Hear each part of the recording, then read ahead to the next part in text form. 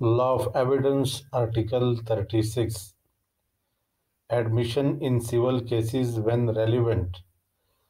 मुकदमात दीवानी में इकबालात वाक़ात मुतलका होते हैं यानी मुकदमात दीवानी में कोई इकबाल वाक़ मुतलका नहीं है अगर वो या तो किसी ऐसी सरी शर्त पर किया जाए कि उसकी शहादत पेश नहीं की जाएगी या ऐसे हालात में किया जाए जिससे अदालत ये नतीजा अखज़ कर सकती हो कि परिकैन इस बात पर बाहम मुतफिक हो गए हैं कि उस पर शहादत ना पेश की जाए।